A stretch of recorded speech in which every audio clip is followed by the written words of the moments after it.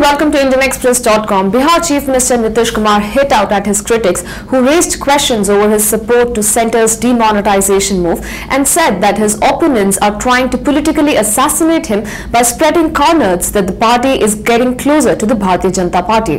His support has prompted some in the opposition and some in the NDA as well to ascribe to him a political motive.